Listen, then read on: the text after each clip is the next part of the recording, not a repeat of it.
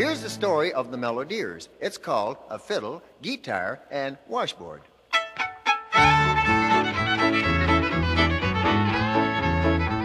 Well, I am just a country boy, and country music I enjoy. I learned to like it years ago from listening to the radio. When I grew up, I formed a band, not too big, you understand. We bought the best we could afford with a fiddle, guitar, and washboard.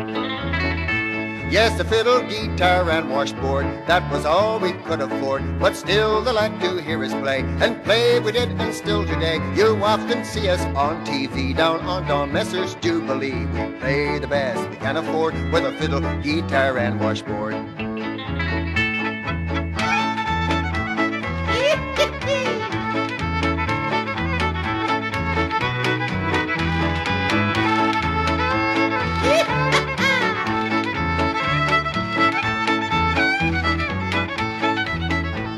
We started 20 years ago at Pembroke on the radio and out around Lake Doré Way. The folks all came to hear us play. Yes, those are very happy years. We call our band Mac's Melodiers. And through the years, the fan mail poured for our fiddle, guitar, and washboard.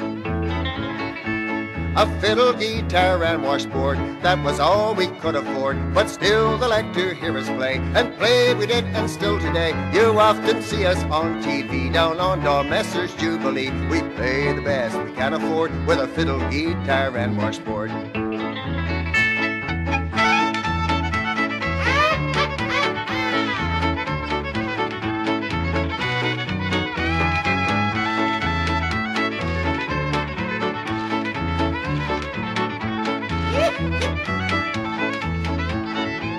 Down through the years we branched out some. We got ourselves a bass and drum, the best piano in the land, and a steel guitar rounds out the band. So if you're ever up our way, the hotel Renfrew where we play, drop in, my friend, you won't be bored with a fiddle, guitar, and washboard.